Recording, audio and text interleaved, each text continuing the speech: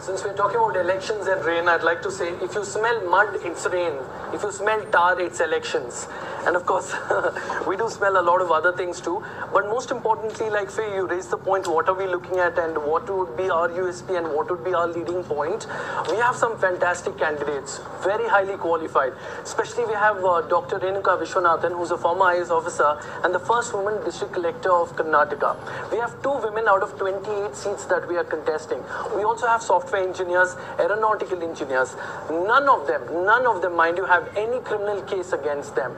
That would be our USP. Along with that, of course, uh, I'm authorized to speak about the front of youth we are doing.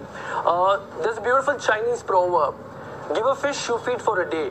Teach them how to fish, you feed for a lifetime. And that is precisely what we are doing. Setting up entrepreneurship cells so that we can gain employment. Employing them is better than, you know, during elections giving out 500,000 rupees notes No, rather than employ them.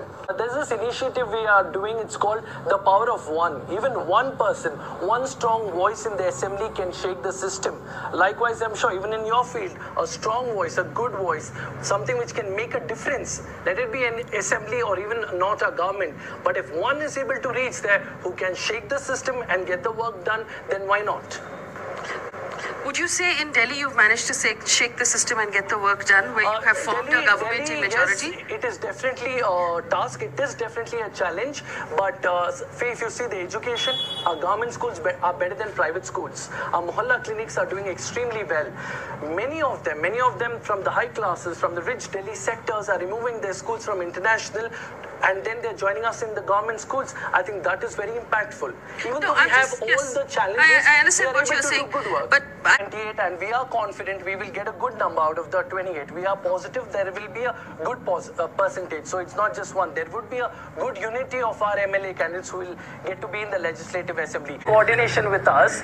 But even otherwise even ha- after having so many handicaps and challenges we are able to do, do work. If you see the teen saal kejriwal we have a complete report card and we've enunciated all the wonderful deeds we have done in our government. That's why- why don't you educate the men? Why don't you educate the men not to do this?